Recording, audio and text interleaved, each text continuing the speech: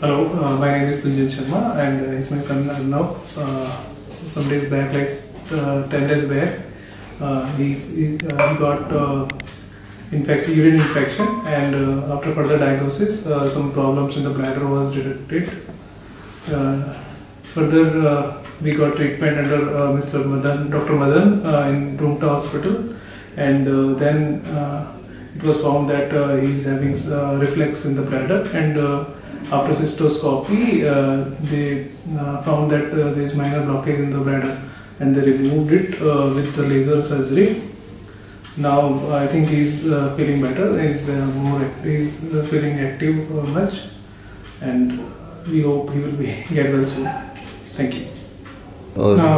like doctor's behavior was very well and they they got the problem immediately and treated treated it well, and uh, also explained about the problems and the further implications, further treatments. Suggested best like uh, the best treatment we got in this hospital, and other than other than that, uh, administration staff behavior was also good.